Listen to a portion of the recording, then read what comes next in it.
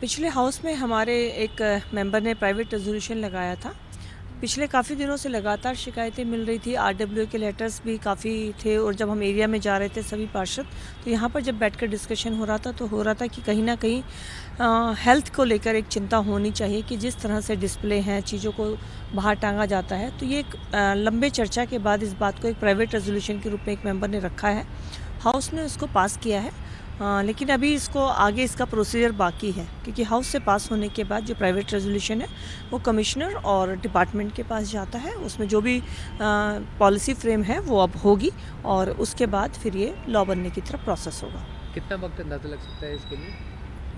अभी क्योंकि हाउस से हुआ है कमिश्नर के पास गया तो मुझे लगता है तकरीबन पंद्रह दिन से लेकर एक महीने के अंदर ये टाइम लग सकता है।